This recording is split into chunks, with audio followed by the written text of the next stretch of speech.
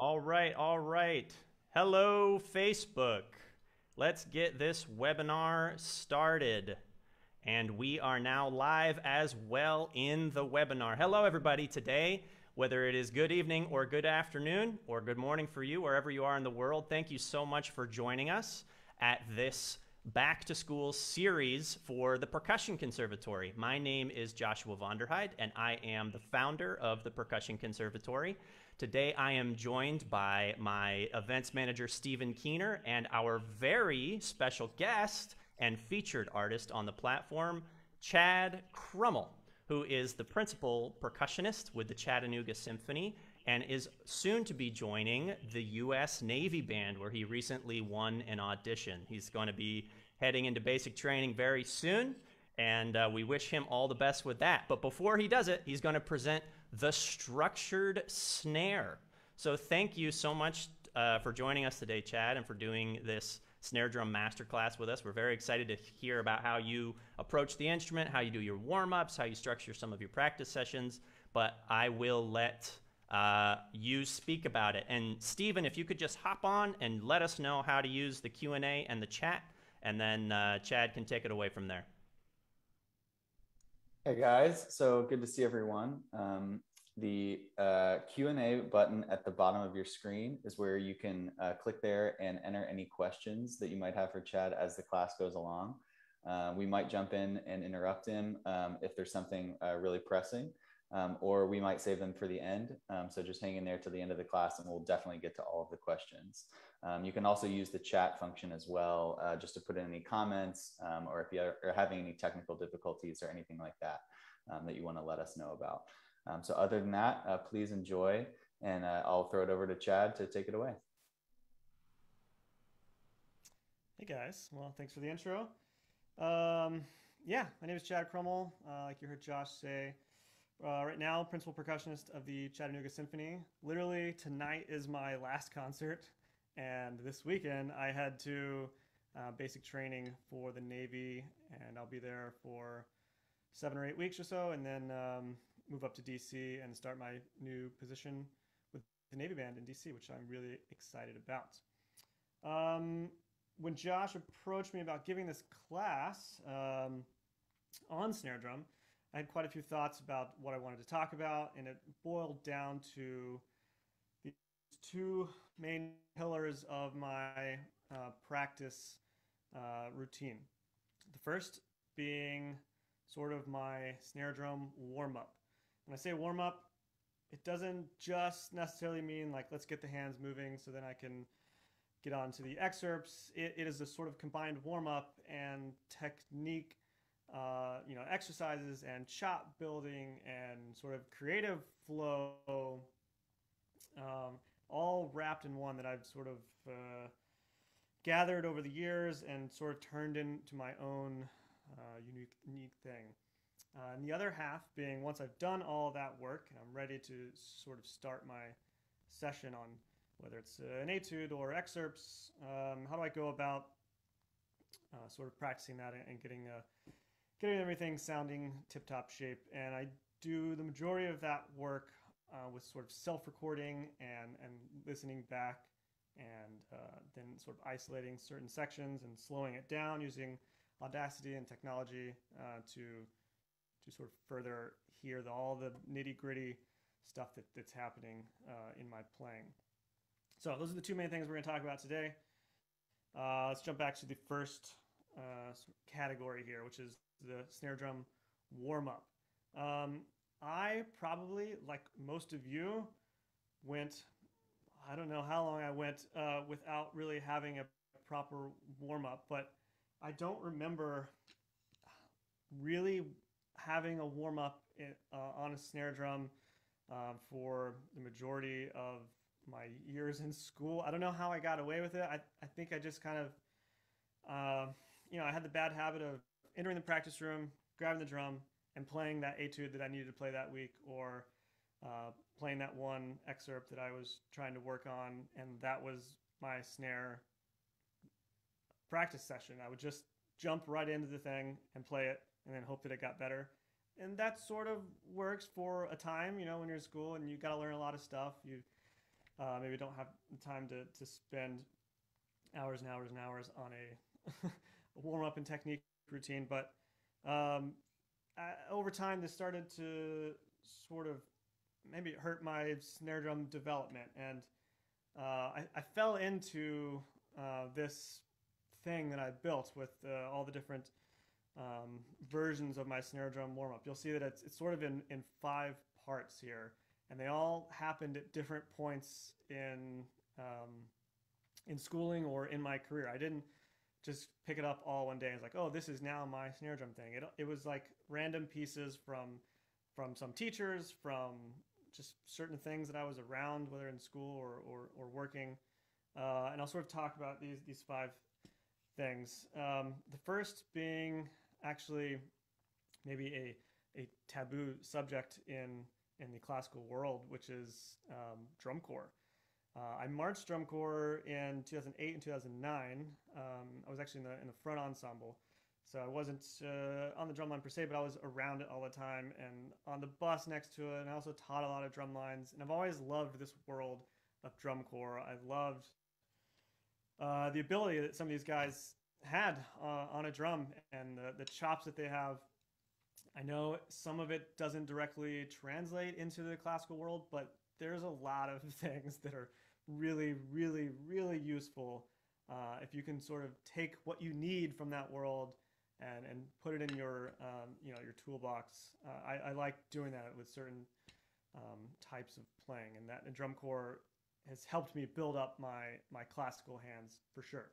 Uh, so I remember we would just find uh, transcriptions of different drum corps shows, uh, different drum corps warm ups, and I started to create this PDF that now has like 60 pages of just my favorite shows and warm ups and and and books and it's a great way to build up chops and build up dexterity and um, really challenge your hands. They they're playing some stupid hard stuff nowadays, uh, and if you can sort of work through that, then all of a sudden Delécluse feels a little bit easier uh, if you can play along to some of the best uh, books out there nowadays.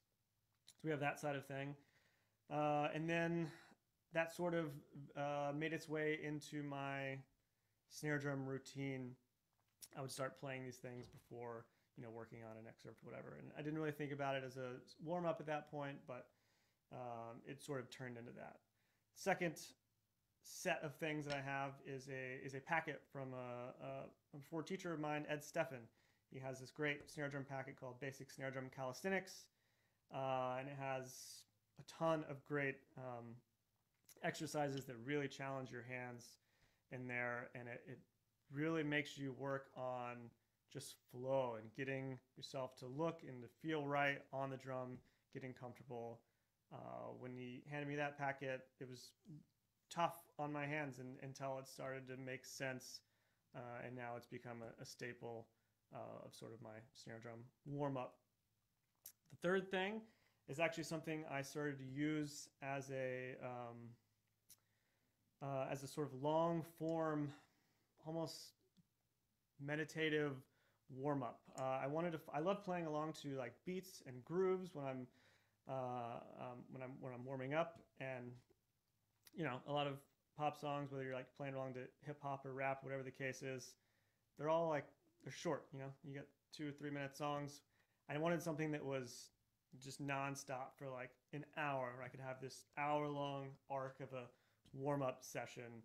Um, and I remembered that um, when I was in in drum corps, um, I used to listen to Steve Reich music for 18 to like fall asleep every every night for some reason. I'd put it in my little like Napster MP3 player, and I just loved the effect it had on me. And uh, and I, I, I saw that and I was like, that's a long piece. It's a steady tempo. It has this this aura and this vibe about it.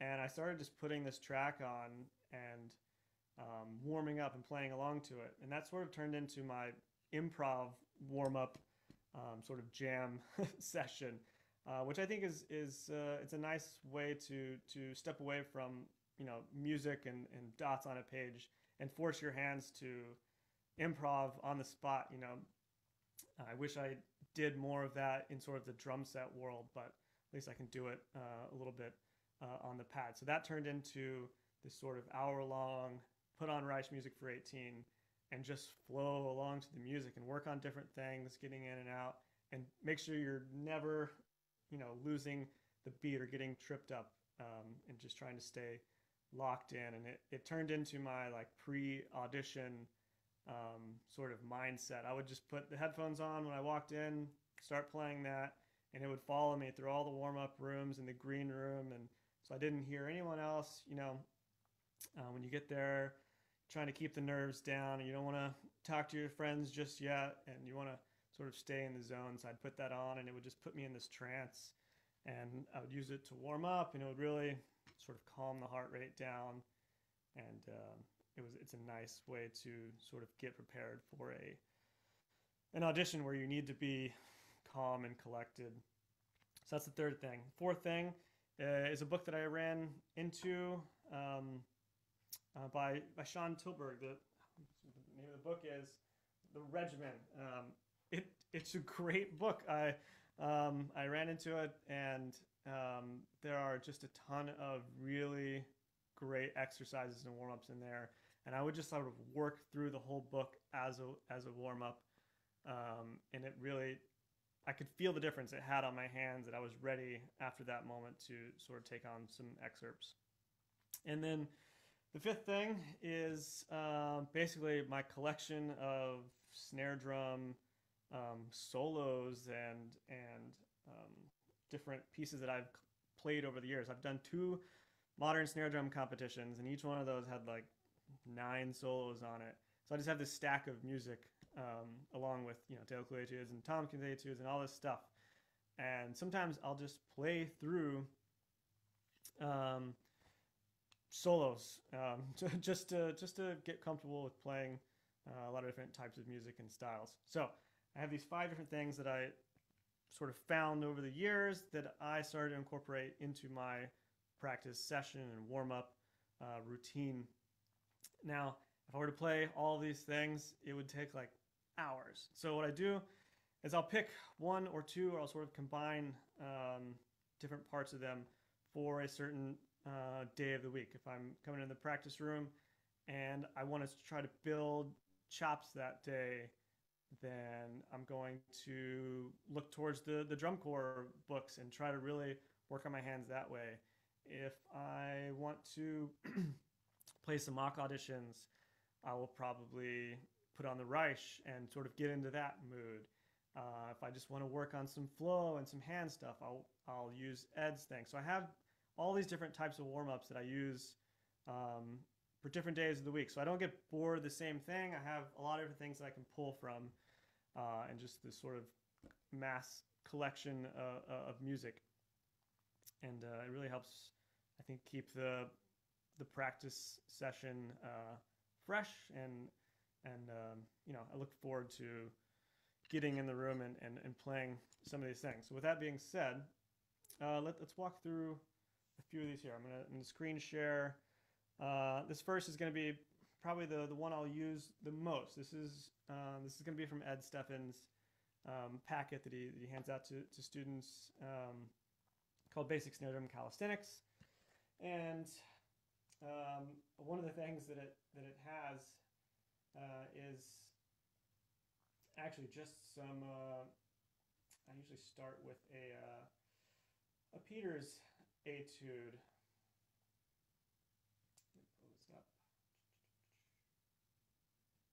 So I'm sure we have all seen this before. I love uh, this this page of music here. I use it for so many things, um, not just on the snare drum, but a lot of accessories as well. Triangle, tambourine. It's just a really simple but effective um, tool that I, that I use. So I will start with this.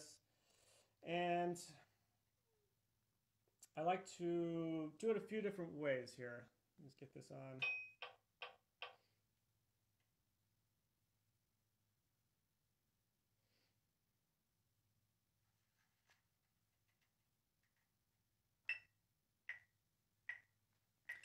first way through is I'm going to play right hand lead the whole way through. I'm really trying to focus on getting my right hand with nice big full strokes and then uh, my left hand because it's doing sort of half of the work right it's only playing uh, you know one note per beat here I need to put a little bit of energy in this left hand to make sure that it has the same sound and character uh, that my right hand does as it's playing sort of the constant eighth notes here.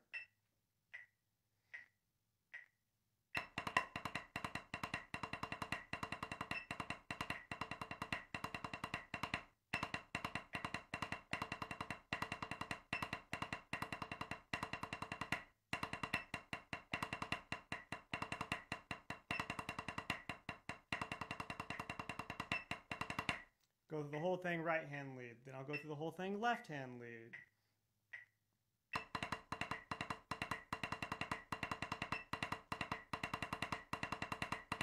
I'm really trying to focus on getting that hand that's playing less often to play with just a little bit more uh, focus and attention so where I get an even sound across the board. Right?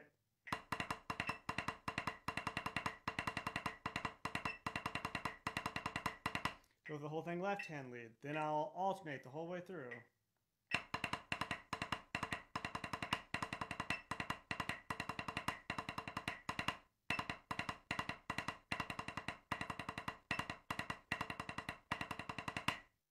And then I'll start working in different dynamics. I'll go and play this at a soft dynamic, right hand lead, left hand lead, alternating. Then I'll start throwing in crescendos, decrescendos, and sort of making it into a piece of music, an etude, part of a symphony, whatever the case may be. Just trying to play more than just the the, the dots on the page here, um, but trying to get a little little creative with it. Once I've done this, I feel like my hands are starting to feel and sound uh, a little even across the board. I really use this to try to get an even sound on both hands. I want to have both hands sort of looking and feeling the same. Another thing that I really utilize is uh, uh, mirrors in my practice room. I'm trying to make sure that both hands look the same. They're coming at the pad from the same angle. Um, I'm going. I'm coming from the same heights here. I just want everything to look the same and has the best chance to to sound the same after that. Then once uh, I sort of get out of that, then I'm going to start in um, in Ed's uh, packet here, and we start with just some some singles and some dexterity, um, a little bit of um, paradiddle uh, work there, and then I'll talk about when we get down to the the fives. Uh, one of the things that I also like to utilize uh, when doing this is to play along to some sort of tunes, music, beats, whatever the case may be. And if you um, aren't familiar with the, the website Funklet, uh, it is a super cool tool where you can um, pull up a lot of these different grooves. Uh, this is a, a Reggie Watch, uh, Reggie Watts Pop Tech 2010. You can set that to any tempo, uh, and I, I really like the, just sort of the space that it gives me here to, to, to warm up. So I'm going to put this on.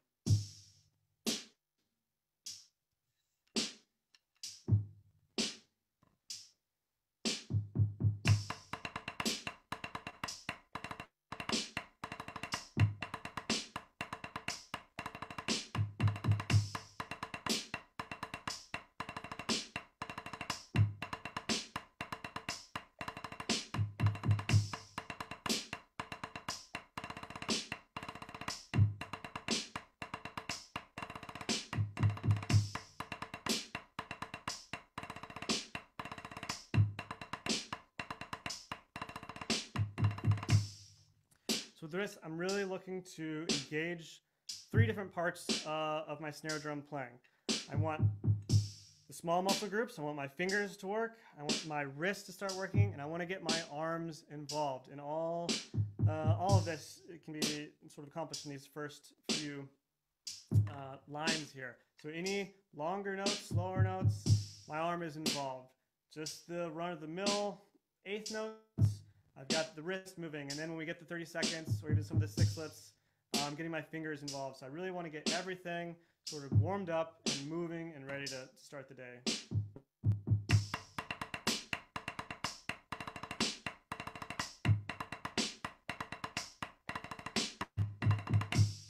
Right, really lifting up, getting everything up off of the drum. Next thing here, the third line, just some basic paradiddles.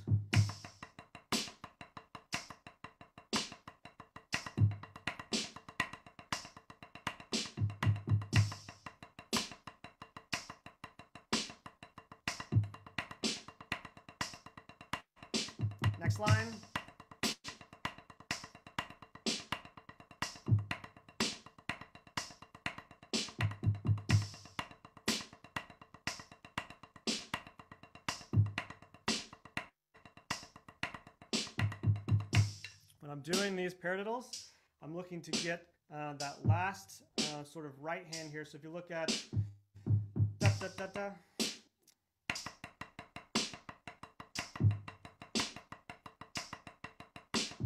as soon as that hand can start to pick up for the next um, accent here, I'm getting a nice upstroke and floating up. I'm not coming up the last possible minute, but I'm sort of getting there early so it has this nice slow effect. Using my arm to pull up.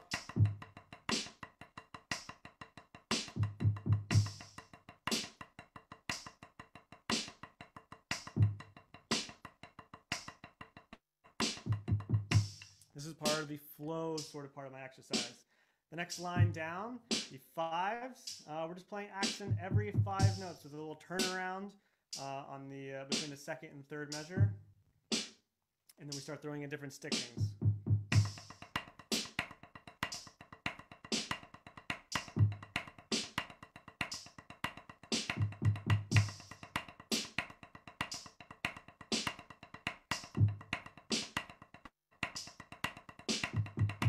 Alternating. Now we're going to throw in a little left hand double on the fourth and fifth note. One, two,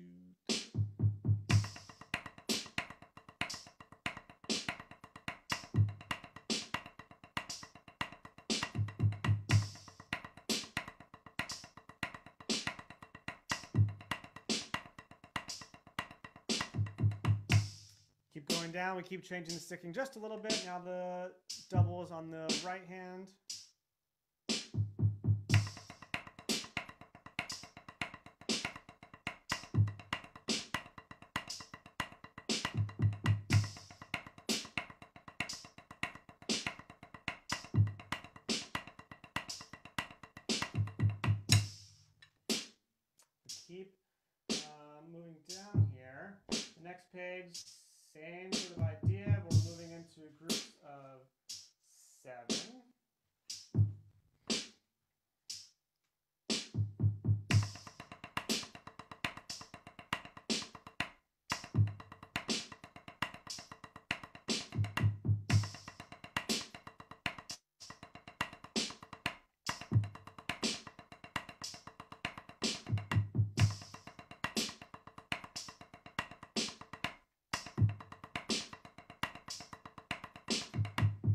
Lots of different variations on this. The fourth line down, we get just straight four in the right hand, three in the left hand.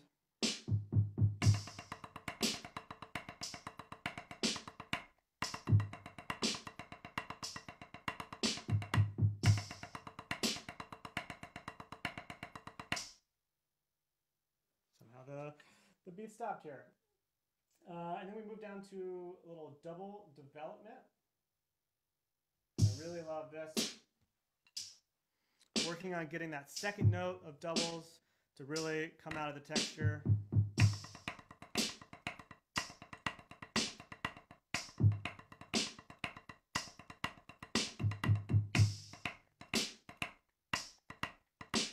Trying to develop that second note in doubles, really get our, our diddles nice and clean. Working on that sort of push pull, grabbing that second note.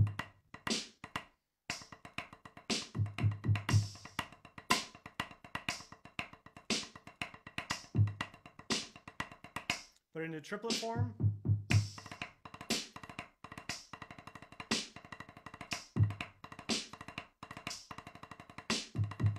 change the sticking on to the left hand.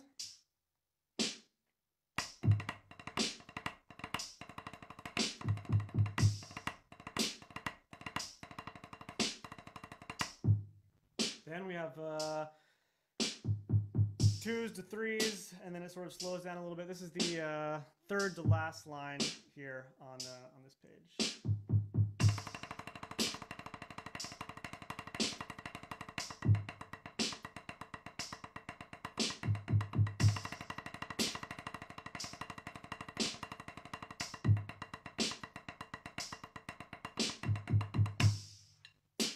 So this packet goes for um, goes for a while here. Lots of great information here. We start working into to Moeller and and uh, some some gritting here as a whole soft snare drum development. And I'll work my way through a ton of this. Um, this is the majority of what I do in the practice session. I don't just jump straight into the excerpts. I know that if my hands are in shape and strong and ready to play all sorts of different um, things that the, the music's going to throw at me, that I'll have a, I'll stand a better chance if I'm if I'm prepared and my hands are, are ready. So I spend the majority of my time on what I call my warm up, but it's really just it's technique building, it's it's chop building, it's um, just getting my hands prepared to then go and play the the etude that I need to work on or the excerpt that I need to work on. Um, so this is the this is the uh, Ed snare drum packet here. A lot of great information. The next little thing that uh, I can share is actually the uh, little bit of the drum corps packet here. I love adding a little bit of drum corps playing into um, into my sessions, especially when I'm looking to build up my hands uh, a little bit. So I have a ton of music. I think there's like 60 well, no, see, there's 41 pages in this, this packet, but I think I have some other stuff everywhere else. Some of it is show music, some of it is um, cadences. Uh, they sort of run the gamut of, of years in drum corps too. Some old stuff, some new stuff. A lot of it was from around the years when I was marching, just because that was what I was sort of around and became my favorite stuff. Um, what I've really been drawn to recently is um, this sort of series of, of blue coat uh, warm ups from I believe it's around 2012 2013 they started to do stuff a little bit different um, they took away the blaring like met uh, or like um, you know uh, just the, the sort of typical uh, drum line goop, goop, goop, goop. and uh, they started having someone have a little uh, mini drum set or a little kit here and he would have in-ear uh, monitors, he would be listening to a Met, but he would just be playing a groove on the drum set, and the battery would be around him, and they would play along to that groove rather than playing along to just one, two, three, four, in a, with a metronome. Um, so this comes from this comes from that sort of world. This is uh, Wave Moeller modulations, and you can just look up. Um, actually, let me uh, let me screen share some of the uh, what it looks like here. So actually, this is the this is that Funklet uh, website. A really cool um, source here. It has a ton of great um, things you could choose from. I've been stuck on this Reggie Watch uh, Pop Tech 2010. You can change the um, the tempos on all these, which is which is really fun. So I'm gonna get into the drumline uh, warm up here. This is called Flam Jam this is sort of another thing what I was talking about. This is combining that that um, getting ready, getting warmed up, and improvising a little bit. What they do is just sort of have a groove going, and everyone is playing kind of whatever they want on top of that, as long as it's fitting into this this groove and this style. So we can have a little bit of that, a uh, little bit of that here. I'll use this to get me, my drum corps session started.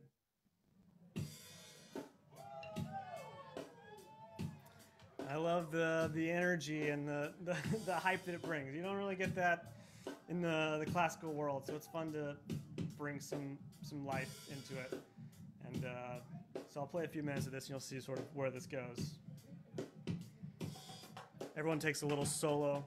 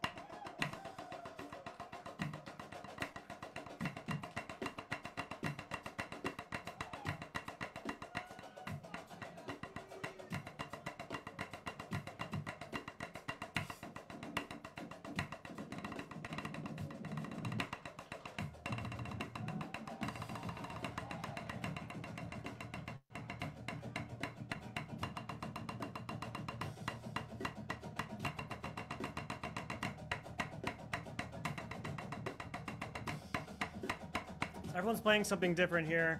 Uh, just fitting into this groove, getting your hands ready, sort of getting the vibe ready to start playing.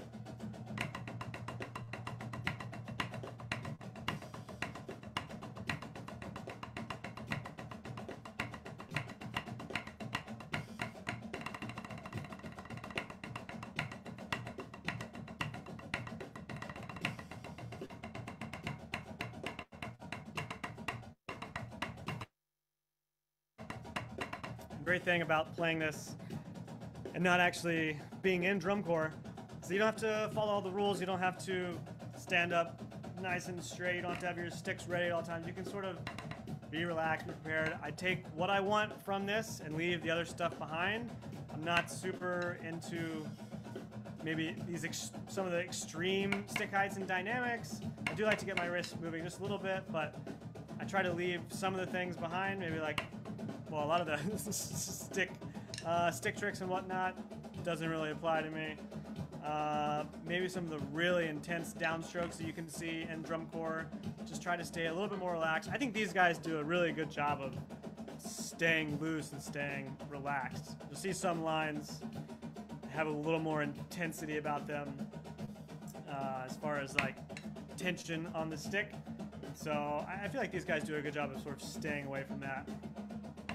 I just like their overall vibe and demeanor.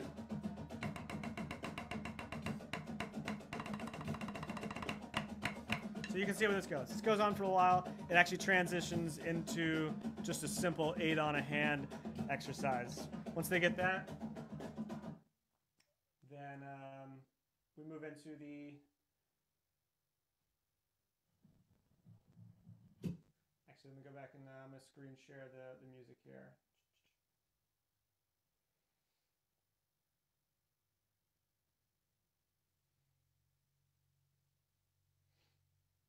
This is called Moeller modulations and uh, really neat exercise if you get a chance to take a look at it. Going back and forth between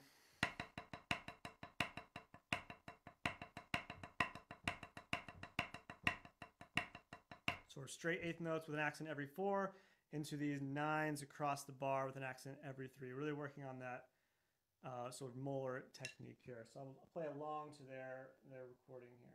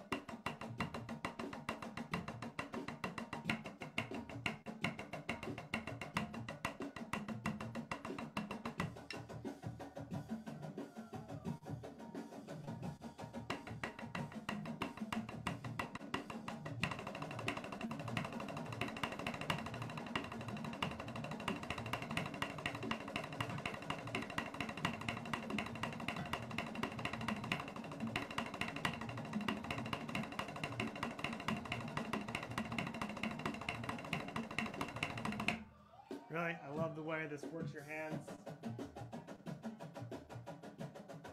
You want to build up strength and sort of speed. This is a, is a great way to, to great exercise for this.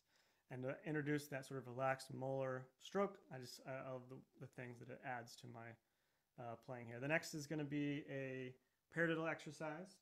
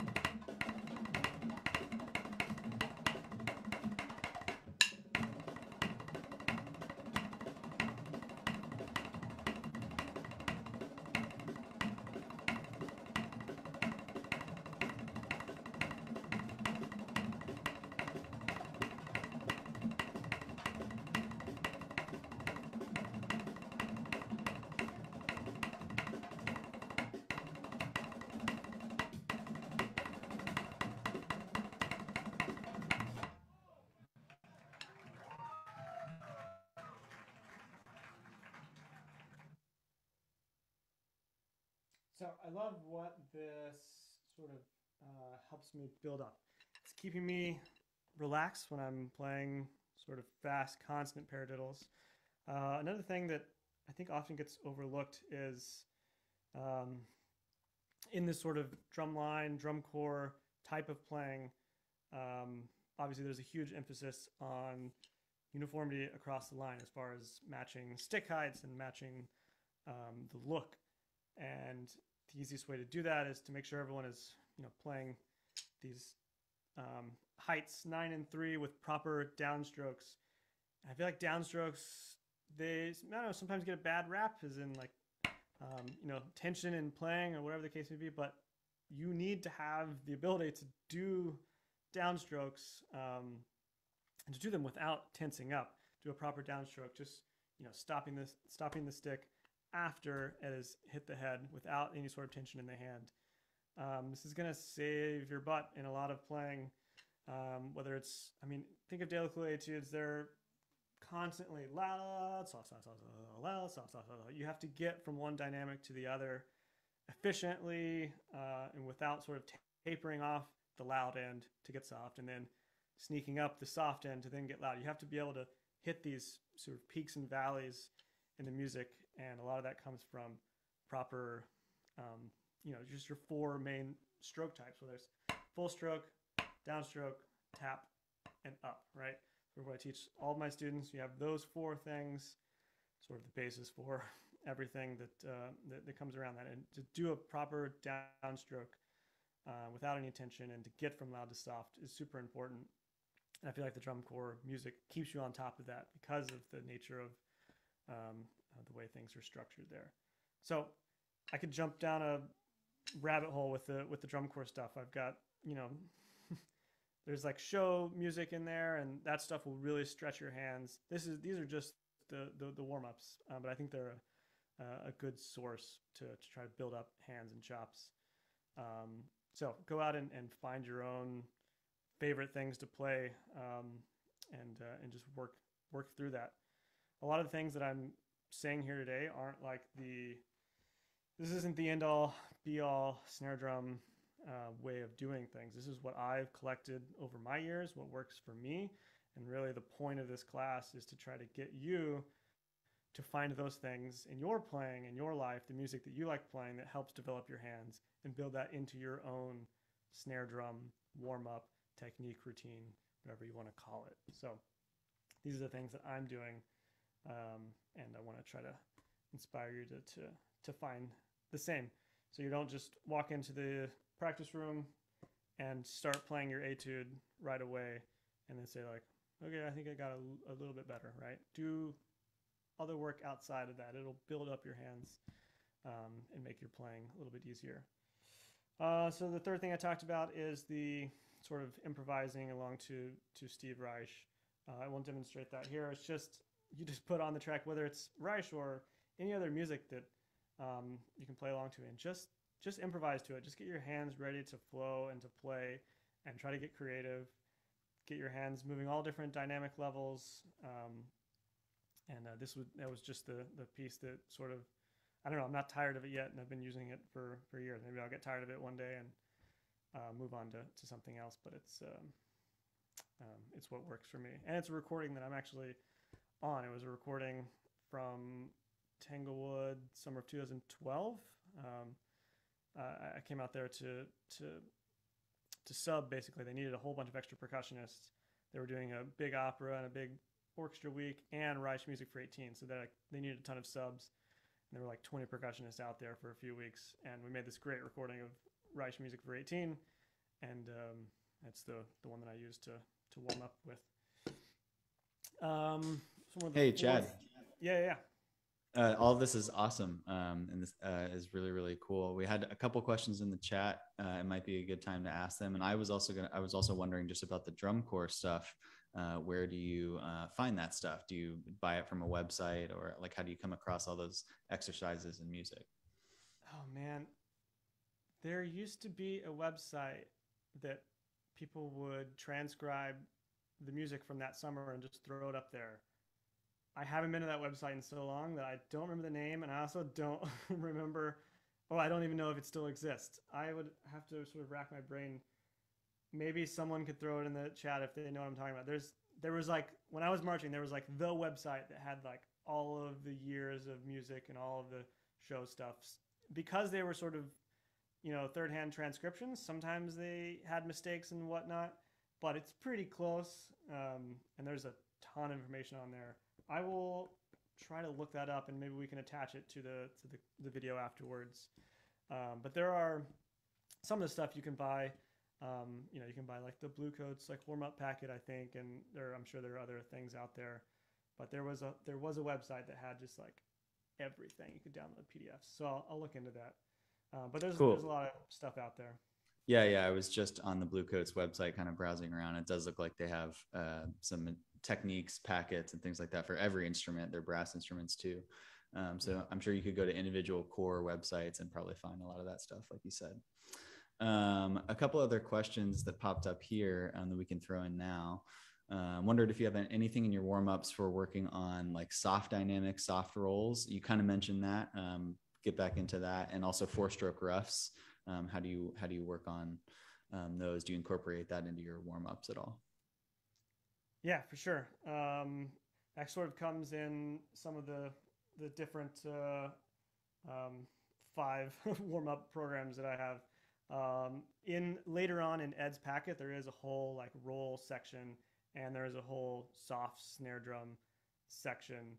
Um, I'll use those, but I'll try to use anything that I play loud. I'll try to also play soft. If I want to do a whole soft snare drum um, session, I will play those definitely those uh, the Peters intermediate, those number one and number two. Um, you know, playing those at, at soft dynamics, playing even um, just the first few pages of Ed stuff. Anything that you can play loud, you should try to play soft too. Some of it will really stretch your your hands, and and you know you'll never end up playing like all a bunch of really really really really crazy stuff down soft. But if you can do the really really, really crazy stuff down soft, then you can probably do Kiji. You know, if you stretch your hands to that point where you can you can play really, difficult stuff at a soft dynamic, then everything else becomes a little bit easier. I mean, really, Kiji isn't that complicated in the grand scheme of things. Um, it's just uh, I don't know. We sort of make it out to be um, because it's this I don't know. It's this sort of thing that we have to play all the time. But if you can play stuff that's harder than that, then it sort of takes off some of the pressure. I think. Um, so the rolls and the, the soft snare stuff. Actually, some of that comes up in this next section here, which is Sean Tilburg's um, book, The Regimen. And uh, if you don't have it, if you don't know it, go grab a copy. It's it's it's really good. It's really informative. Uh, it has some great exercises in there. One of the things that I'll play here and uh, screen share is something called uh, multi-stroke jam. So pull this up.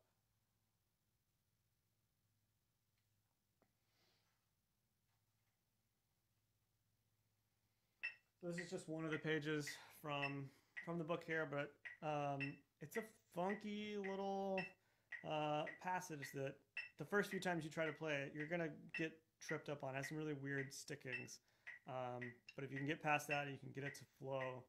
Um, I think it's a it's a nice sort of warm up.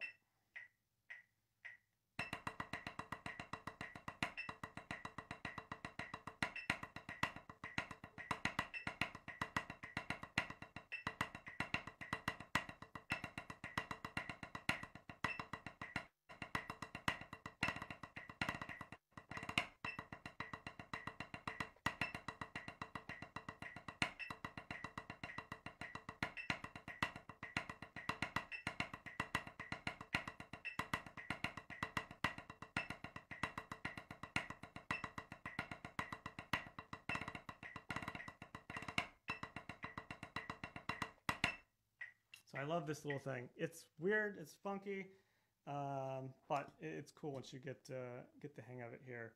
And yeah, like I said, his, his book it just does a really good job of going from the basic fundamental things that you need and just working all the way through um, anything that you you need to work on. It has an exercise for it and has a great little passage about how you should be approaching it.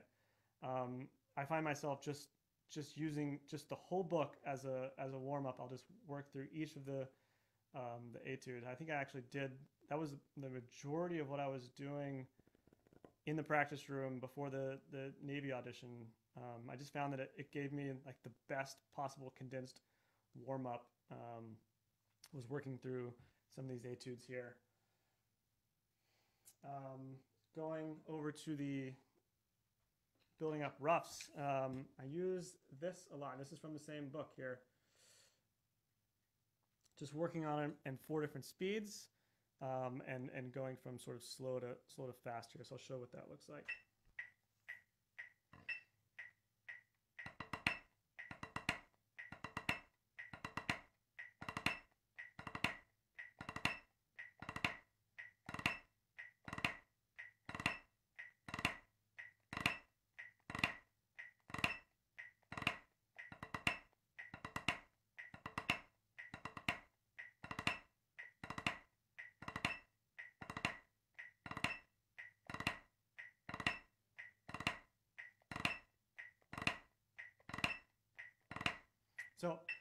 The way this forces you to, to slow down the rough and focus on that critical.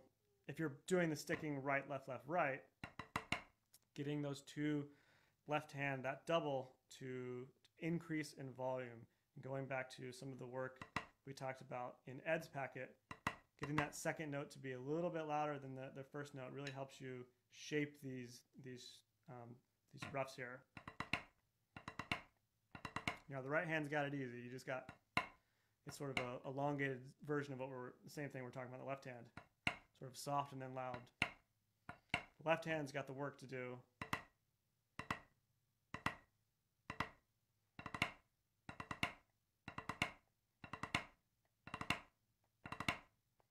I also love the way it forces you to think about it as a rhythm. I think a lot of the times we see this in music and we sort of just play a collection of notes and try to get the last one to land on the downbeat.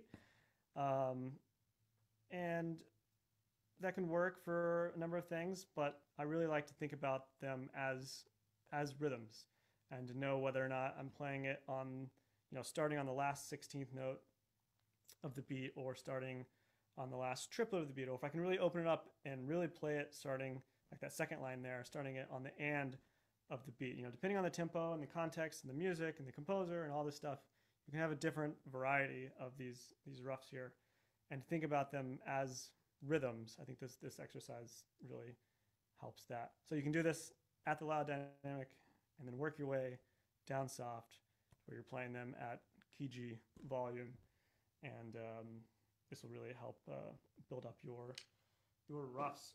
He has a ton of roll exercises as well. And I'm gonna when I do roll exercises, I tend to pull out a drum for this. Just the sensation of a, a head. It's a little different than a than a pad, and um, I want to sort of make sure that I'm getting the proper pressure and density of these rolls, and so I'll, I'll pull out a drum.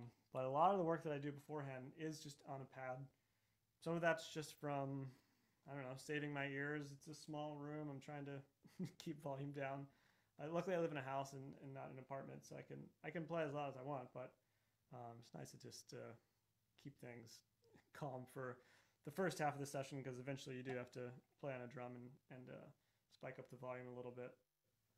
So one of the first things I'll do to build up, um, if we're going to sort of the roll uh, next, and this is a this is a whole separate part of the, the warm up, really. I'll, I'll get the hands moving first, and then I have to warm up my roll as well to work on it. Um, and I think this sort of takes us into the next um, session that I'm talking about here, which is utilizing technology to, to sort of better your, your playing. And um, the setup I have here in the practice room is I always have a sort of mic hooked up to the computer and I'll just pull up. I like using Audacity. Some people like using Logic. Whatever the case is, um, I want sort of instant feedback from from my playing when I start working on something.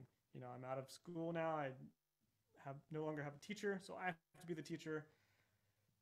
and um, sometimes when you're playing, uh, you, you miss some of the things that um, uh, that maybe are present as a as a third party listener. So I like to go back and listen to uh, instead of playing through something twice, I'll play through it once and use that time to, to listen back and uh, to really try to to break down all the, the, the gunk that's in the, the playing.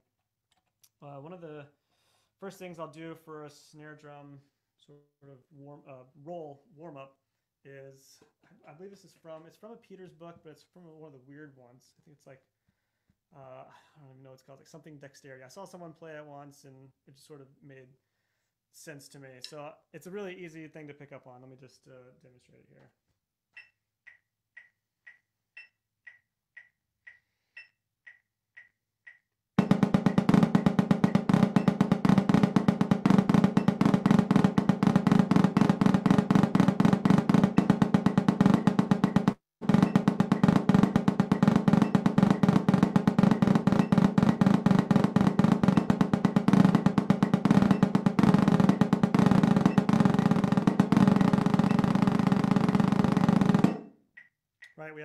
Right hand that's building up the roll first, playing one note every uh, every bar there, and then two notes, and then three notes in the right hand, then four notes. Then we switch to our left hand, one, two, three, four.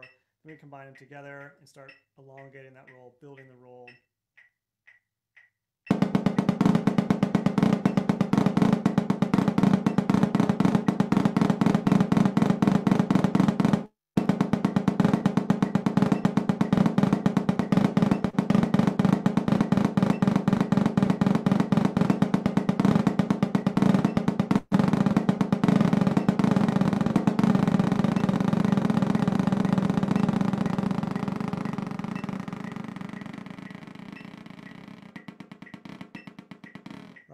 Everything I play loud, I'll try to play soft. So I'll take the roll down and do the same sort of build up at the low end.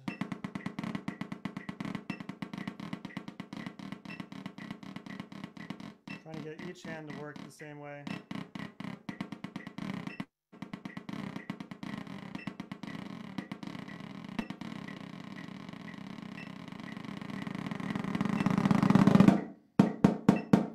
Now, when I want to sort of see what the inside of the roll looks like, this is when I'll use the um, recording feedback here. So I'll screen share this for you. This is Audacity. Um, I just love how simple it is to use. I can hit R, you know, the hotkey to record.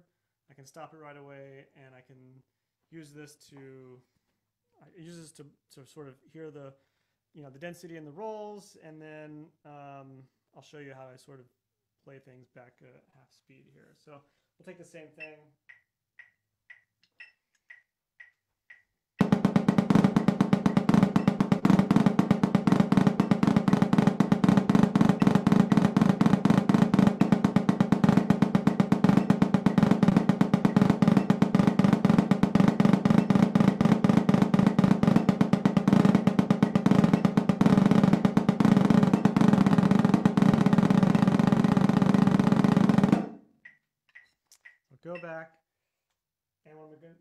What I'm going to do is actually listen back at um, at half speed. I'll go into effect, change speed, uh, cut it down by 50 here. I'll, I'll zoom in a little bit.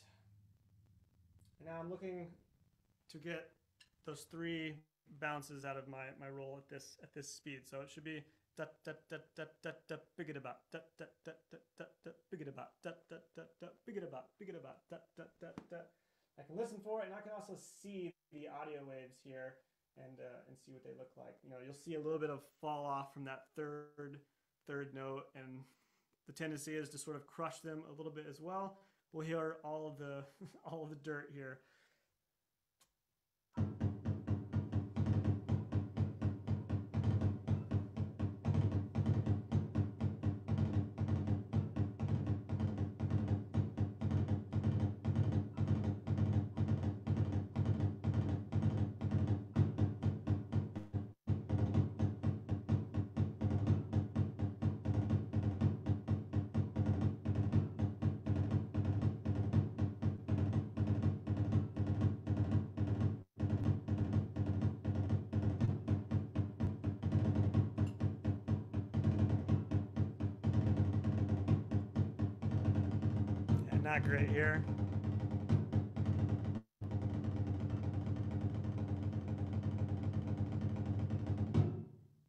Yeah, so I was hitting the the right rhythms when it was by itself. When I combine the hands here, I'm already seeing that okay, something's a little bit. I'm changing something whenever I get both hands together. So I'll work through this and try to just clean it up when I'm when I'm really in shape.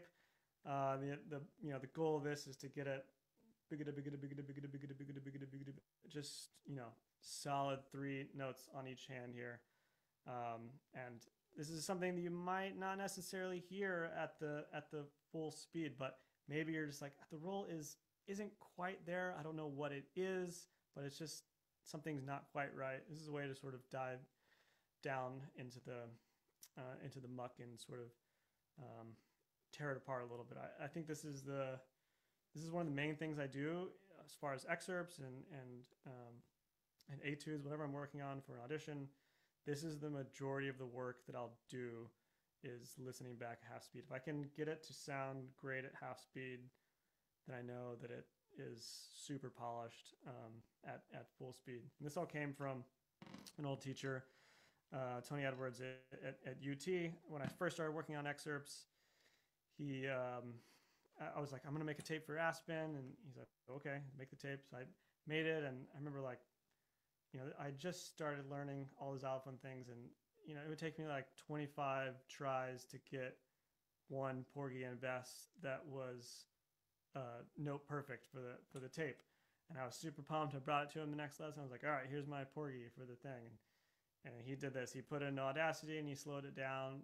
And it was like, do, do, do, do, do, do, do, do, do, do, do, do. You just hear all this like push and pull and weird sway from, you know, not even left hands. And um, it really opened my eyes to like, oh, there's like a whole other way to listen to these things. Like you, you hear it at full speed and you're just like, it's fine. It's you're, you're hitting the right notes and it's you're playing 16th notes, but something isn't quite right about it. Um, and just listening back half speed, you can really it, it, makes you super embarrassed uh, when you when you when you hear it for the first time. And when you do it to students and whatnot, they're just like, oh no, uh, and that was that was definitely me. Uh, and if you can get it to the point where it's like robot, then at full speed, it just sounds like just pristine and beautiful. So I'll do this for all my tapes. Um, I, I, this is the you know the sort of way of thinking about um, this is what they call the marginal gains side of things. You know, if you're if anyone is a fan of uh, I mean, a lot of sports are implementing this. You know, I, I don't know where it necessarily started. I think some in F1, and I know I'm uh, in a lot of cycling. I follow a lot of cycling. There's this idea of marginal gains, where and I think this can be applied to, you know, what we do a lot is everyone at auditions for the you know where the top people say the top 20 people they're all really good right they are all going to play things really really really really well if you think about an excerpt from a scale of zero to 100, you know, and you're trying to, 100 is absolutely perfect, and zero is you haven't started learning it yet. You know, the first 50% is easy to accomplish, right? You, you learn the notes, you learn the rhythms, and you you play it, and you've you've like knocked off half of the the work at that point, right? It's presentable, sort of, you know, and then you start polishing it. Okay, it's uh, you get the sound right, you get the the quality right, the character right. That bumps it up to seventy five percent then you then you really start dialing in like the rhythm, um, and you and you bump it up a little bit more. At some point, you reach you know, say you're in grad school, or you're out of grad school, and you've been playing these excerpts for a long time. They it gets really hard to to make them better at a certain point. It's easy at the beginning, and it gets harder and harder and harder and harder. You're just playing it. You're like, it's kind of the same every time. I don't know. It's good. Sometimes it's a little better than other times, but it's generally here. And what you want to try to do is find just tiny little differences um, along the way. That is, uh, you know, this it's a half a percent. You fix this little thing, it's a it's a half a percent bump. You fix this little thing, it's another you know three quarters of a percent. You do enough of those over time, enough of those marginal gains, and it adds up to three or four percent. You know, if you fix all these tiny tiny little things, and I think self-recording and listening back at half speed allows you to hear some of these tiny, tiny, tiny things um, you start chipping away at that 93% up to oh, 94, 95, and then you start getting, you know, close to quote unquote on 100 or perfect. Nothing is ever perfect, but as close as you can get, it's just going to give you a little more leeway in the audition um, just to try to, you know, you're trying to get everything to be as polished as possible. So I love this idea of marginal gains and, and just chipping away, chipping away at it until um, until it finally is is good. So I'll do one more example of this here. Um, pull it up. This is just going to be something I'll do. I like I like using this excerpt. This is Nielsen.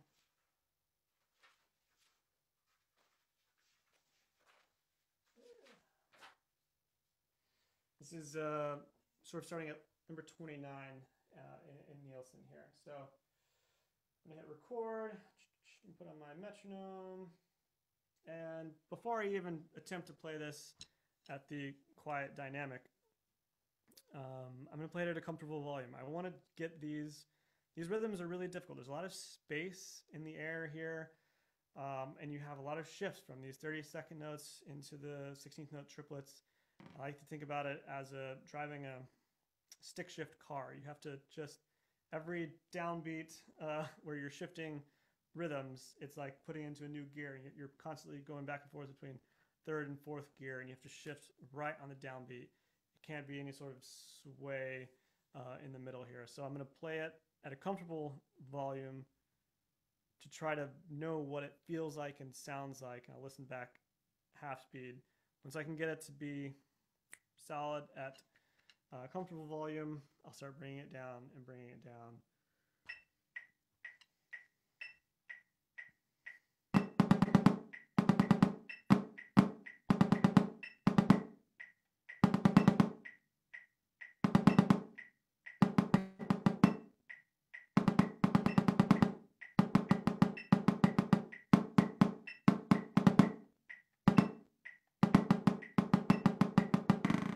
Right, so take that first half there. I'll go back in. Pop down to half speed. And listen back.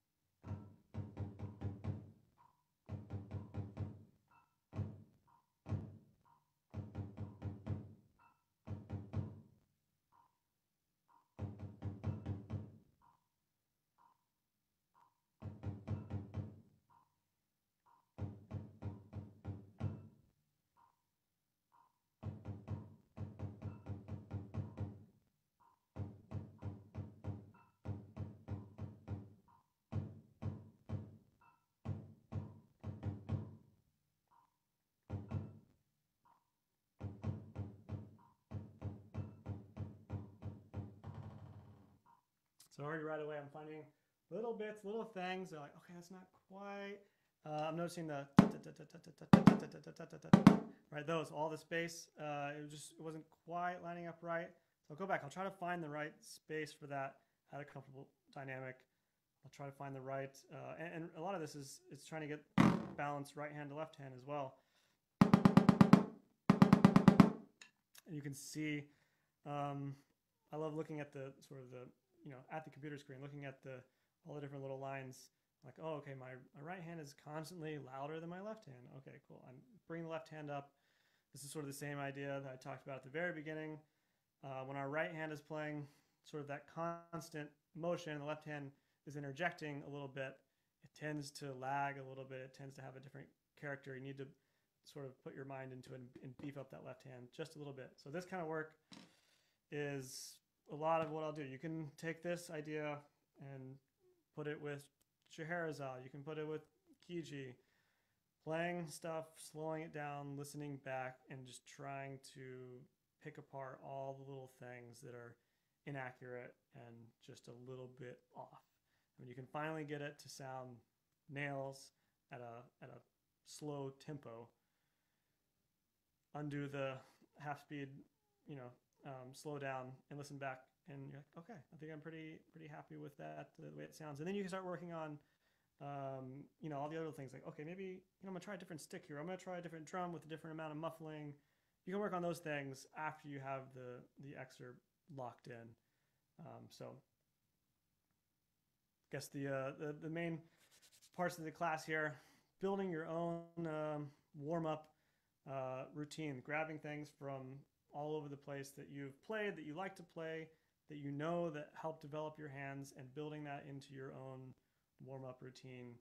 And then uh, once we get through that and our hands are nice and ready, and you've built up the chops and the finesse and the ability to do what you need to do, work on those excerpts and um, try to try to polish them up from getting bumping up the percentages. You know, you're at 90%. Try to just chip away all the little things that are bothering you about that excerpt, and uh, use self-recording and, and, and use the technology that we have nowadays to uh, to uh, listen back. I know you tell like former teachers and whatnot, and they're like, back in my day, we had a, a tape deck that you, you know, recorded it, and then you'd have to slow it down. And they're like, oh, you kids nowadays with your computers and whatnot, like, yeah, we have it easy. We can, you can do this. I luck, I have the luxury of you know nice microphones and this studio monitors here. You know, if you're in school, you're not going to have that set up in a practice room because you're moving from room to room each day. Find something that works for you, whether it's you know the little plug-in microphone on a on a phone or external mic plug in into your computer. Whatever the case is do find something that you can do that is portable and easy that you can use every day. It's not a hassle to set up. You want it to be easy to use um, and uh, and use it use it to your advantage. Awesome.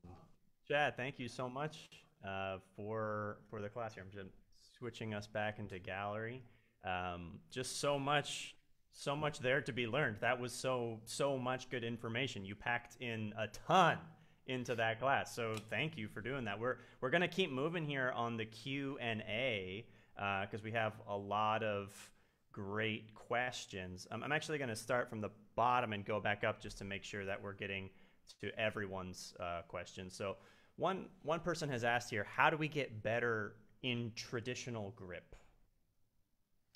Yeah, great question. So this this came up um, with my most recent audition.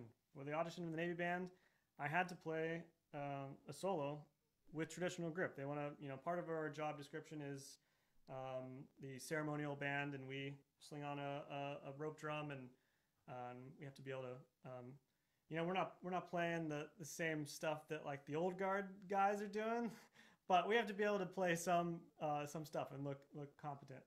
Um, and so myself, I even though I have all this drum corps experience and I grew up in Texas and marching band and all this stuff, I actually never marched a line where I played traditional grip. In high school, I played match grip.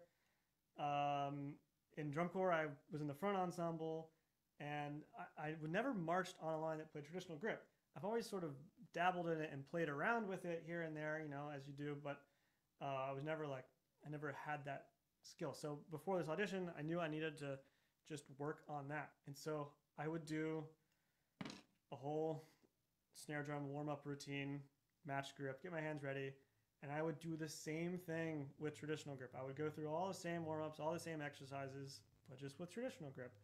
Um, and just building up that it's a completely different motion and different muscles involved and the, the, the flexibility. That was my biggest thing. I was always trying to get the flexibility um, to, to bring my hand back here. So just whatever you do with match grip, do it with traditional grip, and uh, and, and try to build up your your hands that way. There's nothing you don't need to play anything different. Just play music uh, with a different grip and and try to build up your hands that way. Right. Yeah. And uh, you know, I I had only played traditional grip in high school, uh, yeah, fun fact for those who didn't see our Facebook post Chad and I grew up at like basically neighboring high schools. Our dads taught at the same high school. His dad was the band director, and my dad was the choir director. So just a little fun anecdote. And yeah, it, it, in in my high school years, I, I just marched one year of snare drum and played traditional grip, but we did spend um, you know, as Chad is saying, I spent half the year playing matched grip in like our symphonic concert band, but I spent a solid four or five months out of the year on drumline stuff playing traditional grip. So I, I really think the only way to get better at it and to feel comfortable with it is to really play it a lot because the motion is so different. It's sort of like um, even more so than even more so than like oh I know how to play four mallets. I'm gonna switch from Stevens to Burton or something like this. It's basically like I play snare drum, now I want to play marimba. It's like that different. it's like basically a completely different technique. So it is important to spend a lot of hours doing it. And I would say like uh, I don't have a embarrassingly my stick is far away. It's behind me, but you know when when you do hold it, just remember that your the, the motion is coming from like a completely different muscle here. So it is a it is a twisting motion. So you have to develop a completely different muscle in your arm. Um, and, Yeah, and the thing that I found was Yeah. that I would get so tired and so sore five minutes into a practice session, you know, and I would sort of know like, okay, like as much as I can do on that today, I'll come back tomorrow and see if I can do a little bit more. And you really had to build up the muscle and the strength to to to do that. Take it easy, take it slow. Don't injure yourself. Um, listen to what your arm is telling you, and uh, just sort of go at it that way. But it'll, it'll it takes a while. It just takes time to develop. Yeah, exactly. And uh, okay, since since I don't have my this is my uh, my what do you a stylus pen, right? So I can like go on my iPad or whatever. Um, the question is must have sticks, etudes, method book, and practice pad for every orchestral snare drummer. So that could be just like rapid fire. So sticks, etudes, and method books. We, we talked about some etudes and method books that you use, but what is your practice pad and what are your must-have sticks? Oh man, I mean I don't know. I've gone through a lot of practice pads. This one I was using here is a Beetle pad. Um, I think they gave it to me when I won the snare drum competition. I don't know, it's just the one that I use. But I have like an old Vic Firth one around, and I think I have like a Real Feel one around. I don't know. You just collect pads as a drummer. I don't think any of them are necessarily better than the other. I just I kind of like this one. How do you spell that, Um, Chad? Beetle pad. Uh, like a like the little bug, the beetle. Um, The beetle bug. Okay, so two yeah, yeah. double And E. I, I like the way it, I like the way it looks. It looks like a like a kitchen cutting board. You know, it's like a hefty. It's a hefty pad. It's not a portable one, but it's a hefty. It's a good pad. Sticks. I don't know. I uh, I think I've got like three different. I've got like, you know, IP sticks. I've got. I studied in Pittsburgh, uh, so Andy Reamer, uh, you know, makes sticks here. I've got Freer sticks. Just find what works for you. Find buy different sticks, and everyone is a little bit different they all can work. They're all sticks. Find what you like to play with, what makes it the easiest to play with. Um, it just yeah, I, I've switched over the years. Sometimes I'll, I'll I don't know, I just a certain stick just I, it, it doesn't work for me anymore, and then I'll just switch to something else, and I'm like, oh, this feels great. I don't know. I'll just switch sticks randomly. Yeah. Um, so Steven, Steven, do you have a go-to pad or any go-to snare drum sticks or stuff? No, I'd have to say I agree with Chad. Uh, whatever pad is around is the one I pick up and use. And Yeah. you know, yeah, I've got just the, the same pair of sticks that I've had for years, and they just feel good, and nothing else is going to do that. So stick with those. yeah, for me, I mean, I've got, I've had a real feel back there since I was in uh, eighth grade or something. I mean, you get like if you buy it and if you invest in one nice pad, it'll last you basically your whole life. Just keep it clean. Um, I had to like wash that one down for a little while because it, I mean, it goes everywhere with you, you know, like it's embarrassing, but like eventually, yeah, they get like a little moldy even like, you know, you take it outside, like, you know, Hey, go to the beach, play your drum every once in a while, something like this, right? You play it outside a lot, your pad will, you need to clean it. Um, so yeah, there, there are many, many options to that. I, I want to keep moving through, through some of these questions. Um, when I learn a new piece, should I sight read the piece straight away, or should I identify should I identify the challenging parts and work on those particular passages first? Um, I mean, everyone's got their own way to, to get through music. Mine, I'm usually will try to play it through, um, just roughly, and uh, really trying to play it through at the tempo. If it's a snare drum thing, mallet thing, a little bit different. You have to learn notes, whatnot. But say we're talking about snare drum, um, I'll try to play it through at the tempo because I want to know like what stickings are gonna work in the long run, what roll bass is gonna work in the long run. I don't want to start really slow and be playing it different than how I'm going to have to play it at the end. Mm. So I'll try to identify okay, this I know I'm gonna need to double this because it's whatever, or this roll base. Okay, I can do everything in 16th notes. Once you sort of get the idea of how it's gonna work, then slow it down, and whatever method you use, whether it's you know bumping it up a few clicks here and there, and then back down and then up, you know stair step or whatever you do, um, just uh, you know just work your way through it. But identify the those I think those key things at the beginning, this the stickings that you're gonna need and the the the, ro- the rhythm of your rolls or the roll base. Mm. Um, that's going to set you up for success later on. Um, and then uh, just yeah, work your way through it. Use some self-recording. Um, use what you need to. I would say that's a great yeah. What you just mentioned there at the end, the self-recording can be a really nice transition from uh, you know, I'm learning this piece to I'm performing this piece. It's like, how well do you really know this piece, right? like as soon as you as soon as you listen back to yourself playing it, um, you'll know. You know, you have all your answers. That's the truth. It's like listening to the recording. So I find in general, both with with myself out of laziness, basically, but uh, especially with students that I've coached over the years, people start recording themselves too late in the process. They record themselves like maybe two days before the performance. And by that, it's like way too late by that time. You have all these. You hear these things for the first time. You want to start making changes, and you need to be already in the flow state. So it's important when we do talk about self-recording, start that process as early as possible. Basically, as soon as you've learned the notes, uh, you can start self-recording. You can start working on the rhythms. Uh, you know, you can break it down into those sections. So when you're saying when should I start you know, should I identify the challenging parts? Of course you should. That's a great idea. Identify those challenging parts and record them. Um, those are those are key things to do. Uh, yeah, I'll, I'll, use the recording months out, and then I do get to a point where I you need to transition off of that, and you need to get into sort of mock audition mode. If we're talking about orchestra auditions here, um, you know, I, I, do record those mock auditions, but uh, I'm listening to it in a different way. I'm listening to it at real speed. What is the committee going to hear? You know and then we sort of move it into that. That's a whole different topic there. But yeah, I'm recording like early on. yeah, exactly, exactly. I'm glad to hear you say that because I it's uh, that validates like my thought process on that very very much. So yeah, that's good. Um, here is another question. Uh you kind of have touched on this one. H- how do I improve the concert snare roll? Did we already do this question, Stephen? Am I am I doubling up? No, I, I, mean, yeah, I think we can get into it a little more. I mean, we were talking about, um, you know, the Peters uh, exercise for working on rolls and getting the triple bounces, but anything else you do to just work on rolls at different dynamics, things like that? Yeah, I mean, there are different books that are all going to have different roll exercises. Once again, find what works for you. Uh, some of the I use some of the ones from um, Sean Tilburg's book and and some roll things from from that Peters that I talked about, and some from Ed's uh, packet that I know that work for me. Um, so just play lots of different things, find different music, find different um, roll exercises, and find whatever works for you.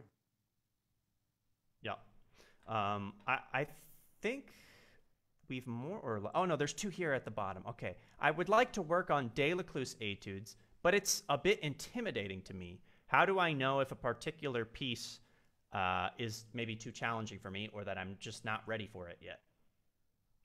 Hmm. That's an interesting question. Um, I mean, you'll only know if you uh, take a stab at it. Um, don't don't shy away. I mean, one thing you can do with uh, Etude that you know, there's there's a lot of information in those etudes. They can be really tricky. Um, one thing that you can do to sort of water it down is take out any grace notes, uh, take out any flams, take out the extra little bits that that's what makes Daily hard. All like the little notes in between notes, so it makes it hard. Take that out. Just learn the rhythms, learn the um, the dynamics, get the foundation down first, um, see if you can do that, and then if you can, sometimes I'll I'll start with just the the foundation of a Delécluse. Mm. Then anything that has a, a rough or a three stroke whatever, I'll just turn it into a flam. So everything is a is a flam. I can do that. Okay, I'll start adding in the you know I'll start making it harder and harder and harder, and getting it to to what's actually printed on the page. But just strip away all the all the hard stuff first and just learn the rhythms, learn the notes. Then you can sort of build it up, and you'll probably surprise yourself. You'll you'll uh, you know take a stab at it, and um, you'll never know until you try. So go for it. That's that's such an obvious answer, and I've never heard anyone say that before. I've never, I've, I've actually never even thought about practicing the Delécluse etudes with no ornaments at all. Um, and that's that's even good advice just for playing those playing those etudes with better rhythm. I mean, that's a yeah. that's a great way to practice anything. Just take the ornaments out. But I've never I've never thought about that way from the from the standpoint of like, wow, this is an extremely challenging etude. Let's you know break it down to component parts that like skeleton style. That's that's cool. Um, yeah, another thing I was going to say, another thing I've done with those, and maybe Chad, I, I, don't know if you've done this as well, but do you establish all your roll bases for those etudes like beforehand? like how many strokes in each roll. I'll often practice them with just the roll base. You know, if it's a six note, I'll just play a six tuplet um, yeah, yeah, instead yeah, of actually sure. playing yeah, roll. Even the same idea as what I'm talking, stripping out all the hard stuff. If you want to include the rolls as the hard stuff, like you said, yeah, finding your roll base. That's like I said, that's one of the first things I'll do when I'm learning a piece, finding out what works, and then so taking out all the extra ornaments and then taking out the rolls and just playing the rhythm of the rolls whether it's 16th or sextuplet or whatever the, whatever the case is, making it doable and easy, get the foundation of the piece, um, and then uh, then you can build up from there. If you're constantly tripping over, you know, little things here and there, you're not really working on the piece in a efficient way. If you're you constantly, uh, you know, messing up things, so make it to where you can play it, and then slowly build up. Awesome. Um, we, I think we have just a couple questions left, but before we get to them, I have to take one pause in the masterclass. And I have to give my spiel, guys. I have to ask you to help us on our mission and to help us fulfill the vision. So, really quick, I just want to mention that um, we do have uh, a donation link set up for these master classes. There's a suggested donation of $20. If you've watched the entire back to school series, it's $50. Um, and anyone who attended the series, I can also give you a certificate. So if anyone is watching and they'd like a certificate for their school, like a certificate of completion, we can let you know how many hours the total series was and uh, put your name on it, and I'll sign it for you. And uh, we'll, we'll get that right over to you via email. So if anyone needs that, do let me know. Um, but the link to donate, we can drop it here in the chat, is uh, this. It is https colon backslash at link tr.ee backslash the PC, and it's on the Facebook um, post as well. And oh, Stephen, Stephen, do you mind copying and pasting that and send it to the chat of everyone? I sent it. I sent that to a direct message to Stephen, guy, and. Uh, if, if you guys, if you can't donate, it's really okay. We, we, we, understand that many of us have been like very, you know, intensely impacted by COVID, or maybe it's not a great time, or maybe you're a student and you have other expenses. If that's the case, please just share this. Wherever you're watching right now, share it with everyone you know. Take out your phone, take a picture of the stream, put it on your Instagram, and tag us. Tag Chad, tag me, tag the Percussion Conservatory, and just share this with everyone because the, the, it's really, really working. Um, just today, we had another 25 people follow us on our social media platforms getting ready for Chad's class. And as you guys are sharing this and as it's going around, we also we love to hear from you. So send us your comments. You know, send us emails. Let us know what you want to see, um, because what you guys want to see is what we're going to provide you. So please do let us know. And also at that link that I just sent everyone, linktree.thepc. Um, are all the rest of our classes for our next series. So Chad is finishing up the back to school series, which is awesome. But we're about to have four assistant timpani master classes with Matt Strauss, David Liu, uh, Andy Watkins, and Scott Christian, all of whom will be talking about how to excel as an assistant timpanist. The series is called The Excellent Assistant. So please do sign up for those classes as well. And they're all free. The registration is free. So just jump onto these Zoom webinars with us and that's the spiel, guys. Thank you so much. So if, if the class has brought you some massive value, please go ahead and donate. Sign up for more classes. Share this with everyone. And uh, that's it. Thank you guys so much for listening. I appreciate it. So, uh, Stephen, what questions have I missed here? There's a there's a couple more I see that are coming in as I'm talking. Yeah, I think just um, Uh, one here. Oh yeah, I thought this was an interesting one for Chad. Uh, is there any difference in training for percussionists if you're in a wind band versus an orchestra? I think that's interesting. Um, your you know new position you're about to start. Um, I don't. I mean, yeah, people have asked me that before. Like, oh, how was audition compared to orchestra auditions? Honestly, it felt com- it, exactly the same. I mean, they pretty much run it exactly the same as an orchestra audition. Maybe some of the selections of music are band specific, but it really wasn't even that much in this audition. I think there was like a few things that were band specific, but most of the excerpts that I played were orchestral excerpts. Um, yeah, I mean the training is the same. You're you're just trying to show that um, you can play these excerpts with a good sound, with good time, good feel. It uh, really isn't much of a difference there. You'll have little thing like for this job, there was like I said one rudimental etude that I had to play traditional grip um, that was specific to this job. Um, other than that, everything else was the same.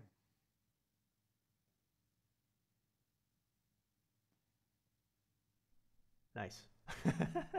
um, and the I think I believe this is the last question here, which is, hi, um, in Kije, Lieutenant Kije, the accents, not considering the pianissimo, are in what dynamic? Like, what dynamic do you play the accents are? Uh, uh, what dynamics do you play the accents at, considering that they're in pianissimo? I think that's the question. Sure. Um, I just think about them as just one dynamic bump up or one um, you know level up from whatever the bass is. It says you know two P double P pianissimo there. I think about the accents as being just one level up from that, so being piano maybe. So we're going from piano pianissimo, piano, pianissimo. Um, but it's really, I mean, you know, it's uh, you just have to sort of see what what you know, piano. It's subjective. What what's piano in context of an orchestra and playing with yourself or whatever the case is. You just have to. I think the relationship is the most important thing. You don't want the accents to stick out too much. Mm. Um, you don't want them to not be there at all. It's really the relationship between the two. It's just a tiny little bump. Um, you know, a little bit louder than the note that came before it and a little bit louder than the note that comes after it if you have you know one accent sticking out there. So think about it more as a relationship between the two rather than maybe uh, pianissimo and, and, and piano. Great. And uh, shout out to aaron who just sent in a donation. Thank you so much for your generosity. That is awesome. You guys are i mean seriously all these donations are going straight to our masterclass fund so that we can make sure that chad is paid for his time. and all of our artists. I mean, this, this is an important aspect of this. So, guys, that it, please, uh, I'm trying to stall just a little bit because I want to make sure we have room for any more Q and A. So, if anybody has any further questions, now is the time because uh, uh, otherwise we are going to uh, let Mr. Chad get ready to go to join the military and join basic training. Um, yeah, one thing I was going to say about that is that you know, I'm going to be in this strange situation where I I'm not going to be allowed to play percussion or a drum or a pad for you know those two months. You know, I, I can't bring a pad and sticks to basic.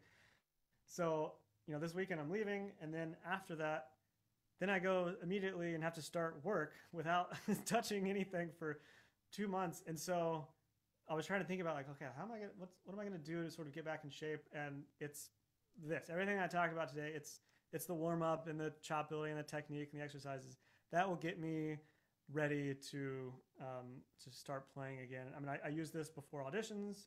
I'll use this throughout the year, um, but I'm already thinking ahead. Like, okay, I'm gonna have to use all this stuff to sort of get my hands back after being cold for for uh, for eight weeks. So, right. It, uh, um, uh, Chad, I, I, have one question for you. Now that you're saying that, do you um, uh, do you have a tenure review process with the U.S. Navy Band? I actually don't know the, the answer to this question. Uh, because, you know, most orchestras, guys, um, for those of you who are not taking orchestra auditions quite yet, once you win, it's not over yet. you have to, uh, you know, you have to go to the orchestra, and you, and it's anywhere from six months to years. Sometimes it takes multiple years, and you'll be reviewed as a, as a musician on stage, both by your section and principals in the orchestra and the music director, uh, and you sort of have to have to show them that you're a you know a great colleague. I think getting tenure is about being a great colleague, about both being prepared for your personal part, um, but also knowing how to interact with other people as a professional person. Um, so you know, showing up on time, not making people upset, smelling nice, you know, taking a shower. All these things are part of your tenure review process. But I don't know anything about this in the military bands. So maybe Chad, do you, have you heard about any part of this, or maybe there's some preparation you're thinking about about this process? I, I mean, yeah, it is definitely a little different. I don't think they have anything that's comparable to the sort of orchestra um, tenure, you know, year long season or whatever the case is. I mean, I, it's almost the opposite in a way. Like, I have signed a, you know, four year enlistment. Yeah. And I'm in it for four years. Like, I think it's kind of the opposite. Like, they can't fire me for four. I don't know.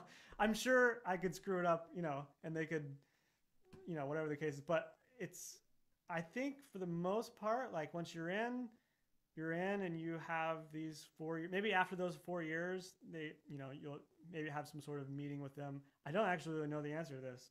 Mm. it's not as it's not kind of like the tenure thing um, but you know maybe you'll have a meeting after those four years and be like oh would you like to re-sign? or um, whatever the case is. But i think for the most part once you're in you're in unless you just do something terrible and get kicked out well, obviously, the application process to joining the group before your first day on stage is far more rigorous. I mean, you're going to go through basic training, for example. I mean, like this is it's a much more intense both audition I and interview process. So yeah, the, way, the like medical screenings and like background checks and like Secret Service, you know, questionnaires and stuff is a little different than like the orchestra setup process. Sure. So I think like once they've decided like okay you're in, then I think they're pretty comfortable with you at that point. Did you go through that process in Chattanooga? Is that do they have a tenure review there? Oh, oh 10 year? Yeah, yeah, yeah, yeah. So okay, and so this was something that you're you've already done before, and you so you know what I'm speaking about, obviously. Yeah, yeah. I I was uh, it was a tenure position here, and I got that within the first year, so I've been tenured for years that I've been here, and right now I'm sort of uh, I'm technically on a one year leave, and then I'll resign once I get up there and everything sort of settled and and whatnot. Great, awesome. Well, um, do, oh, maybe one more question. Uh, Stephen, you wanna you wanna ask this question, and then I think we'll wrap up. Yeah, sure. I just had one last one pop in here. Um, just uh, wondering if you have any advice uh, on working on Tompkins etudes um, to get started on that? Advice I'm working on. I mean, yeah. So this was sort of the in my the fifth like I don't know if you're gonna call them pillars of my warm up. I've got the drum corps, I've got Ed Paget, I've got the Reich Improv, Sean Tilburg's book, and then the fifth one is like I said, like the collection of just snare drum music that uh, built up over the years from the different snare drum competitions and just from different books. One of those is the Tompkins that I use a lot um, to play through. Um, as far as advice for what was it? Advice for playing it, learning it? What was the question? Yeah, just for for playing, getting started in in that repertoire. I mean, I don't know if I have any like specific. I don't. I don't.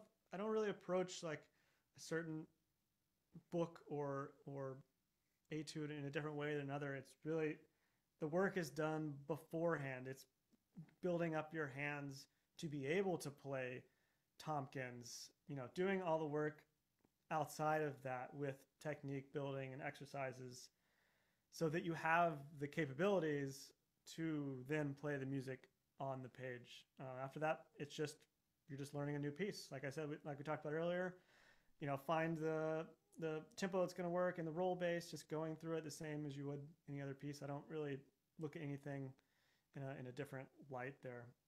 Mm. Yeah, I, I would. Um, I, I, would also be curious, Chad. Did you, when you're getting ready for the um, those those etudes, did you listen to certain types of recordings? I mean, I think Joe Tompkins has them all recorded, or at least the first book, I believe that he had recorded. Is, is there any other types of things besides those recordings um, that you would recommend listening to in terms of that style? Uh, I don't. Yeah, I don't think I've really even. I'm not even sure if I've listened to the Tompkins recordings. I don't know. I kind of just, I kind of just like to have my own uh, uh, approach to it. I don't know. I don't really want to hear what someone else did to it. I just want to play it my way. Whatever comes out, comes out that way. So of course, of course, yeah. I I just mentioned because there's there is a little bit of um, I don't know. He he plays with a certain sort of flair, which if you've never heard that sort of style before, might inspire someone who's listening to the first sure. time, playing through them for the first time. Might take uh, you might feel more comfortable to take some risks, both with a bit like the dynamics and the sometimes the rhythms are more crushed or more open or the, the, these sorts of things. I, I tend to find those French rudimental etudes to be a little bit um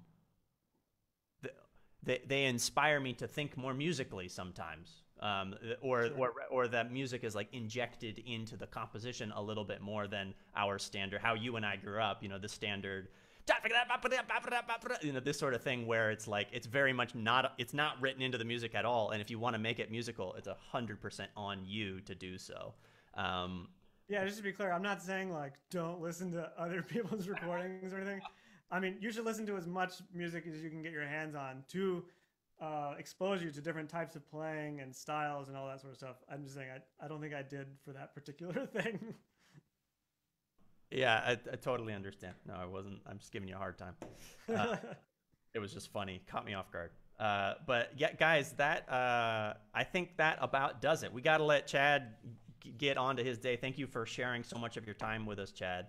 Um, it, it's really it, putting on this series uh, would not have been possible without our artists, all five of our artists who joined us uh, for the classes. And a big, a big thanks to them and to you, Chad, and also a very big thank you to the, on my screen, the person who is now at the bottom, Mr. Stephen Keener, who this also, none of this would have happened without him. He was instrumental in coordinating all of the classes, getting information from artists, helping us determine how to best um, program and present these classes. And it, it's really been a team effort. And of course, it really wouldn't have been possible without our audience. All you guys who are watching, um, you're you're the inspiration for our, us doing all of what we're doing. Is we're we're trying to create this platform to share percussion education. And as Chad was saying, you know, we always hear Chad and I and Stephen, we all heard from our teachers, you know, none of this was around. Like we didn't have computers and recording stuff when we went through. It's like, okay, but at the same time, just when the three of us were going through, uh, you know, we didn't have live Zoom classes with like the best artists ever. We didn't have Chad Crummel teaching on Zoom for free when everybody wanted to check it out. This was not a thing. Like you had to fly across the world maybe to get this information from certain artists. I mean, Ed Choi just gave this class. You know, no one people weren't flying to Korea to get this information, but now it's here and it's accessible. So. Um, you know, it's a it's a really cool time that we're all living in, going through this together. And please, guys, yeah, I said it before, but just just share this around. Let everybody know that we're doing this um, because uh, you know we have we have thousands and thousands of more people that we want to reach and inspire. And the, the more people who find out about it, the more possible it is to deliver better content more often. Um, but Chad, you're really setting the bar high for snare drum. You're making me want to. That was like some scary stuff you were playing, like the sevens and the singles at at light speed. You're like at Mach. You're like at Mach 14. Like wow. Okay. Um, so man, it's yeah, it's inspiring. You're making me want to go pick up the drum before I go to bed. Appreciate it. Um, Stephen, and uh, do you have any do you have any closing thoughts? And then Chad will pass it to you for the for the final word. No, yeah, I just echo what you said. Thanks again so much, Chad, and to all the artists for uh, for coming and teaching these classes. And please enjoy your last show in Chattanooga tonight. That's going to be a really special moment. And uh, and safe travels and good luck with basic and everything like that. Thanks. Yeah, yeah. Yeah, oddly enough, we're uh, so tonight, like I said, my last show, and uh, we're playing we're playing Capriccio actually, and I was like, I don't want to have any stress for my last concert, so I gave the snare drum part to someone else. Like I'm like packing and moving. I don't want to. I don't want to work on you know the soft snare drum roll like two days before I leave. So I gave it to a friend who uh, uh, who wanted to play it. So I'm going off like scot free. I'm playing some castanets and just enjoying my last concert. That's what the the luxury you get uh, being principal. You can uh, sort of divide the parts how you want. So um, yeah, I just want to say thanks to to Josh and uh, and Stephen for putting this together. Thanks for uh, asking me to present a snare drum class. The idea that I wanted to get across was just for everyone to develop their own version of what I'm talking about here. This snare drum, uh, I call it a warm up, but it's it's everything in one. It's the it's building the hands, it's the chops, it's the exercises, technique, calisthenics, whatever you want to call it. It's all sort of wrapped in one, and uh, so just inspiring you to to build your own with your own music and your own beats that you're playing to, or whatever you do to get creative in the practice room and to, to sort of further your snare drum playing. So once again, thanks again to the uh, Percussion Conservatory. Check out the next few classes that they have, the uh, assistant timpanist classes. Those are going to be really cool. I'm sad that I will miss them. I will be, I don't know, in a bunk somewhere in uh, Chicago. So it'll be interesting. Yeah. Well, Chad, I guess uh, it's got to be what, like almost 20 years now that you and I have uh, known each other. I think maybe even more. So it's it's really cool to. Uh, wow, yeah. It's been a it's been a hot minute, man. It's it's more than half our life, that's for sure. So it's it's cool to see this coming for full circle, where you know I, we're we're putting this platform. You're a featured artist for us, and and that you're off to such cool things, and that both of us are on you know opposite sides of the world playing music. It's it's crazy. We started so close, and now we're split up, but still still doing stuff together. So uh, on a personal note, it's really it's really really cool, man. It's, I'm so happy for you to start this next part of your journey, and uh, and we'll be rooting for you. Can't wait to see you on stage with the with the Navy band very soon. Awesome. Thanks a lot. Yeah. All right, everybody, wherever you are in the world, have a good morning, afternoon, or evening, and we will see you at the next class. Take care, guys. Bye bye.